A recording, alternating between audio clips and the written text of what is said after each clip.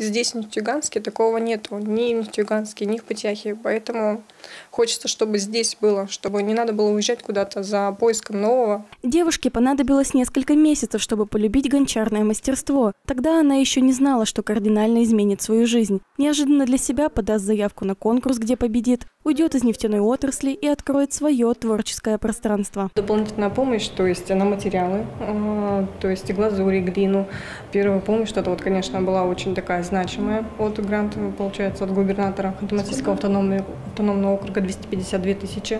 То есть глазури все вот эти вот немецкие, все мы это купили. Дети сейчас приходят, рисуют, э, лепят, им все нравится, родители довольны, я счастлива. Найдя помещение и получив все необходимое оборудование, в январе начала принимать первых гостей. Сейчас у Фариды занимается 10 ребят с ограниченными возможностями здоровья. Работа с глиной развивает мелкую моторику, внимание, мышление и воображение.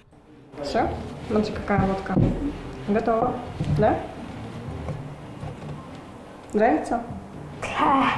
Тарелочка в форме лодки готова. Теперь у Руслана новая задача – раскатать глину, вырезать из нее машинку и покрыть глазурью. Держи. Давай как ручку. Смотри на глину. Давай веди. Ставим. И ты ведешь. Давай. Давай, давай, веди.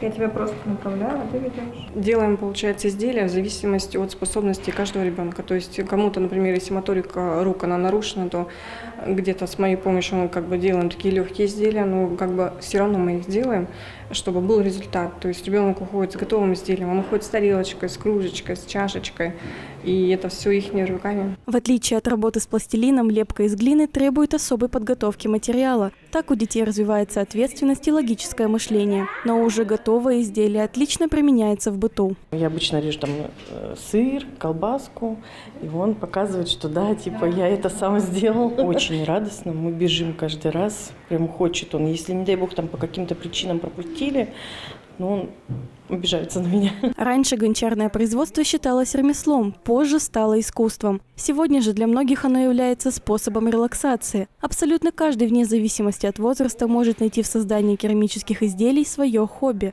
Так, в планах у Фариды в скором времени начать проводить мастер-классы для пенсионеров. Алина Ширина, Денис Ефремов, телерадиокомпания «Юганск».